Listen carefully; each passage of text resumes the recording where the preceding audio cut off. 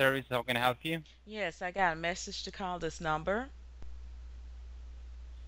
Okay, so can I have your name in order to pull up your file? Yes, it's Rodeesha, R O D S and David, E E S H A, Drive, D S and David, R I V S and Victor E. Okay, uh, just give me a moment. and Let me pull out your file, okay? Okay.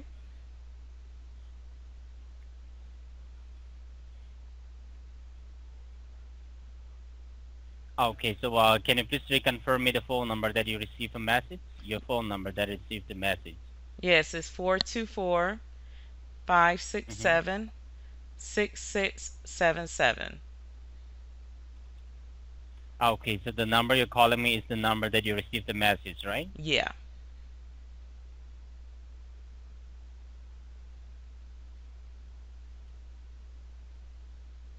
Okay, so uh, this is Felix Thompson from the uh, investigation department of the IRS, and I do believe uh, you received a message that has been uh, urgent message that has been delivered to you from the investigation department, right? Yes. About the lawsuit under your name for the tax evasion. Okay. And I do well- believe you are, uh, and I do believe that you are aware that uh, you owe some taxes to the IRS. Is that right? No, I'm not aware of it. hmm And how long you have been? Uh, that means how who file your taxes? You file by your own, or you hire someone to file the taxes for you? Well, see, my homeboy uh, did my taxes. He he takes care of my financial records. So I guess he screwed up. Oh, he can file the taxes for you, right? On behalf of you, right? Yeah, my homeboy Romy Rome Yeah. did my taxes. Yeah, but but from the IRS point of view, we didn't uh, mention anyone to hire any kind of any person to file the taxes, right? That means uh, if we find any kind of uh, miscalculated or any kind of inappropriate in filing your taxes, that means uh, that tax is on you. That means when we file a uh, complaint, when we file a lawsuit, we cannot come. Uh, we file a lawsuit under the name of the person that who filed the taxes for you. That means the lawsuit that would becomes under your name, right? Well, So I that means uh, well, I own my Mhm, own ahead. business called Rodeesha's Bump n Kurl, and when you go to that salon, you get a bump and a curl. And I also made sure that my homeboy Romy Rome took care of my taxes. I did not know he had screwed up. okay. So let me explain to you. See, today or we file a lawsuit under your name because uh, when we conduct uh, statutory audit for the tax of your uh, for the tax uh, five years, we found some uh, miscalculated amount. That means um, you owe some tax to the IRS and outstanding balance, right? And Okay. that's the reason, and we have already given this information uh, to raise to our department to resolve this case, but you didn't raise to our department in time. That's the reason we're filing a lawsuit under your name to recollect this amount forcefully by Five issuing years? the arrest warrant, right? Five years? Yeah, for the past five years, right, including the federal taxes. How can it be five years though? Yeah, five uh, five year we used to conduct a statutory audit for the five years, right? Not only to you. And if you find some miscalculated amount, misappropriated in filing in taxes, we have to calculate all the amounts um, with the including the penalty, right? And I'll give you all the detailed information. So that means in order to um, resolve this case, we are giving the options to resolve this case. One is outside the courthouse and one is inside the courthouse. That means inside the courthouse, that means you have to hire an attorney if you think that you didn't owe that kind of a money to the IRS. If you think that your taxpayer, your uh, the one who filed taxes, is not making any kind of a mistake, in that case you can file, uh, you can hire an attorney to file. Uh, to, that means in, inside the courthouse. And if you find guilty, that means you'll be paying that outstanding amount, including the uh, penalty charge of the court fees. And moreover, there will be a three to five years imprisonment. But if you didn't find, Three to five means, years in uh, prison. yes, and if you didn't find any kind of it, that means in the case inside the court, if you win this case, that means uh, Wait, hold on a if you're not Wait, wait, hold a making any kind of a mistake. Homeboy, why did you screw Sorry. up my taxes? You screwed me Okay, up. ma'am, let, ma'am, Okay, let me tell you, see, this is a federally recorded call, and any third, any confidential, every confidential information will be provided, and it's a federally recorded call. So any third-party conversation is strictly uh, prohibited, okay? Okay. hmm So that means uh, in the file of the taxes, uh, there is some miscalculated amount. I have to mention that for the past five years, we conduct this statutory audit under your name, right? And the miscalculated amount is, uh, it comes up with 4795 including the penalty charge, right? Wait, what did Um, you say? yeah, $4,795, that's the miscalculated amount that you owe Four to the IRS, thousand seven hundred ninety-five dollars. hmm How do I owe that much? Okay, it's for the past five years, okay? And moreover, uh, to resolve this case, we are giving this information. And moreover, if you're resolving this case inside the courthouse that I have already mentioned, three to five years imprisonment, and moreover, will be directly issuing this arrest warrant uh, today, by the day itself, if you're, if you're going to resolve this case inside the courthouse.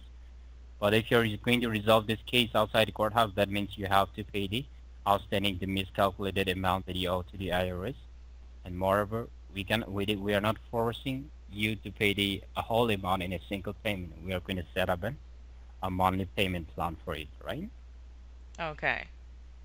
So it's up to you. if you want to resolve this case inside the courthouse or outside the courthouse. It's up to you, okay? No, I want to resolve it outside the courthouse. Outside the courthouse, the result outside the courthouse, that means you need to have uh, to cancel the arrest warrant. You need to have some of the amount of the tax that you owe so that we can cancel the arrest warrant or maybe hold the arrest warrant, right? Yes, I got the so that whole we can resolve this case.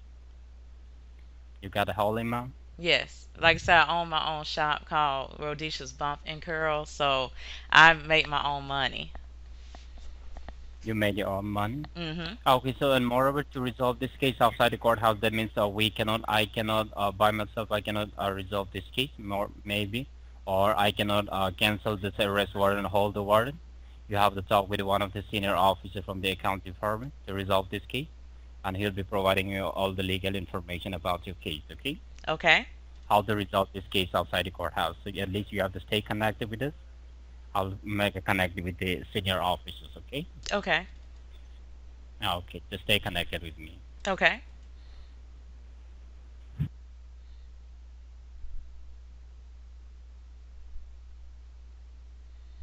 Wrong me wrong. Messed up my taxes. I could get you wrong me wrong.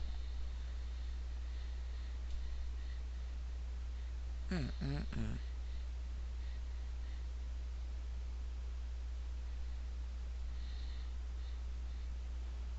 Thank you for staying online. This is Abraham. Hello. Yes, hi. Yes, ma'am. How are you doing today? May I know who I'm speaking with? My name is Rodeesha Drive. Rodeesha. So do you understand from my officer about your case? I understand a little bit. He told me I owe four thousand seven hundred ninety-five dollars. Yes, as I can see, according to the case, uh, $4,795. This is the money which you owe to the IRS. According Yes. to IRS, they said this is the money which was miscalculated under your name between 2011 till 2015. Yes. So who filed your taxes for those years, ma'am? My homeboy, wrong me wrong. He screwed up my taxes. I told him to take care of my taxes while I was setting up and doing my shop called Rodeesha's Bump n Kurl, and I see that he screwed it up. Screwed up my taxes. All right. So uh, did my officer tell you about the federal warnings and all? Yes. Yes, because the call is recorded federally, and if in case we get disconnected, then you'll have to give us a call back within 1 minute 20 seconds on the same number. I'm calling you from my cell is- phone. Yes, yes, that's what I'm telling you. If in case we get disconnected, then you'll have to call us back on the same number right away, right? Yes. hmm Because if in case we didn't get any response back from you, then in that case, unfortunately, we'll have to transfer this case to the courthouse.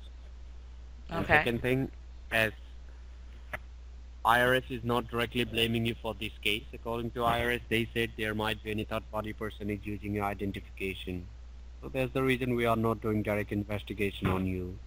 Okay. And this call recording will be played as an evidence on your behalf in a courthouse. So we don't want any third-party interruption over the call. Okay? Okay. Alright, so if you have any questions, any confusion which you didn't understand, you can ask me about that. Well, I don't have any questions. I just want to take care of this. It's four thousand seven hundred ninety-five dollars. I got five thousand right now. And uh, means uh, you have the documents with you that uh, whatever tax your homeboy he did for you. No, I don't have the documents. That's what I'm gonna get from him. He screwed me up. Yeah, and you want to resolve in a, it in a courthouse or out of the court? I told the last officer I want to resolve outside the go house. Out of the courthouse. And did my officer explain you means what IRS say to resolve the case out of the court and in courthouse? Yes, he told me that we had to take care of this four thousand seven hundred ninety-five dollars outside the go house, and that's what I want to do. Alright, but we'll have to explain you each and everything about it, right? Let me tell you what exactly IRS they said if in case you want to resolve it in a courthouse, okay? And out of the court. Okay. So just uh, if in case you want to resolve it in a court, then IRS they said means after this call they will not directly communicate with you, and only after the judgment is passed, then IRS they will start communication with you. And after we end this conversation, we will have to file the lawsuit against you in the federal courthouse of Washington D.C. And from Washington D.C., your case will be transferred in the district courthouse of your state and one of your local police authority will be involved in this matter, who will bring the legal documents, the court summons, and the warrant of arrest. Oh no, I All can't have Compton police coming back after me. No, we got to keep this I outside. appreciate, ma'am, but Yes. Yes, no problem, but it's our job to let you know about it, right? About the case and about the whatever details we have received here. Yeah. So to give you that documents, one of your local police authority will be involved in this matter. He'll be getting the legal documents, the court summons, and the warrant of arrest from him. And you'll have to defend yourself in a courthouse that yes, you are innocent and you haven't done this tax fraud. Then only the judge and the jury, uh, jury they will check means why The IRS jury? saying you have evidence. Yes, Well, I'm sorry. You said Missouri. What's Missouri? judge and the old check means why IRS is saying you have evidence your tax Okay. right? If in case that you found uh, if you haven't done this tax fraud or if there was any third party person using your identification, then whatever money you owe to the IRS, that money you'll be getting refunded as a tax return money. Got it? Yes, I Or got you'll it. have to hire an attorney and a lawyer. And if in case you found guilty, then the judge and the jury they will ask you to pay a swing amount of approximately it will be sixty-eight thousand dollars. $68,000? Yes, listen me first, ma'am. I'll give you a chance to speak, okay? Okay, so go they ahead. said if in case, yes, if in case you're not able to defend yourself in a courthouse, then they will charge you a, approximately a swing amount of $68,000, which will include the pending tax, penalties, compounded interest, attorney fee and all from 2011 till 2015. And your case will be handled by your attorney and a lawyer and all. And out of the courthouse, IRS, uh, they said if you want to resolve it out of the courthouse, according to IRS, they said you'll be getting an option of OIC because OIC is the only option available for any individual in United States to settle their state and federal taxes. And OIC, which is offer in compromise. And under OIC, you'll have to uh, pay the pending income tax which you owe to the IRS. And after that, they will allow the FBI to investigate the case. And after the investigation in 24 hours, you'll be getting some documents. And you'll have to sign some documents, each and everything. Some of the documents you'll be sending back to the IRS. And some of the documents you'll have to keep it with you. Okay. And it, the money which you owe to them, I already told you if in case you'll pay notion, then that money you'll be getting as a tax return money. Got it? Okay. Yes, because we'll have to put your ID information and all on a trace for past five years. We'll have to trace down each and everything, so it will be frozen. And the person who did a tax fraud, they are they will not able to make any kind of changes or delete on your file. Okay. And whosoever was using your identification on your behalf to do this kind of tax fraud, everything will be traced down by us. Got it? Yeah, I got it. Okay. And uh, which ID you have? State ID or your driver's license? I have a state ID. you have a state ID. And you'll be buying a tracking vouchers. That vouchers you'll be getting from any of the grocery stores. Wait, don't did you to say vouchers? payment, Yes. Okay, I know about vouchers, voucher. but not vouchers. What are vouchers? That vouchers, ma'am, you can buy it from any of the grocery stores, right? Because you don't have to do this transaction by using any of your credit card, your bank account and all. Because this information, I think the IRS, they're gonna frozen. This will be frozen by the IRS. Okay, so I have to go and pick up these vouchers. Is that correct? Yeah, each and every, yes. I'll let you know each and everything about that from where you can get that and all. Okay. Yes, so if you have any questions, any confusion, you can ask me about that. I, I just want to know why I got to go and pick up vouchers to pay the IRS. Can I just pay it over the computer? Over the debt only I'm telling you, you don't have to do that by using your credit card and all, because we are not authorized to take that information down. But it'd be easier if I do it over the computer, though. It's not about easier, ma'am. But Right, it should be easy because I have a shop to run. hmm But if you will be doing in that way, right, then if you, it, it won't be acceptable, then it's no use. So I'm telling you at the first that yes, we are not authorized to do that. You can't Okay. take any of the payments or transactions by using your bank account, credit card, debit card, and all. Okay, so how are we supposed to get these vouchers? I'm sorry. How are we supposed to get these vouchers? Where are we supposed to go to to get store these? is which store is near to you? I have a 7-Eleven up the street. I got to get my homeboy to take me though because my car is dead. So we got to take his clunker. Okay, and do you have a Target store? I don't have a Target store near me. You don't have a Target store near you. No, And how far is the Walmart? I don't have a Walmart near me. It's going to be about 15 minutes. Walmart, right? Yes. But we Okay, had to so take his do- clunker though. I'm sorry? We had to take his old clunker though because I can't drive. So you'll be going uh, along with your homeboy, you say. Yeah, he had to take me there in his clunker. Where is he now? He's right here. I just got on him for Right. messing up my taxes. Okay, okay. So, and you said it will take you about 15 minutes to reach to the Walmart. Yeah.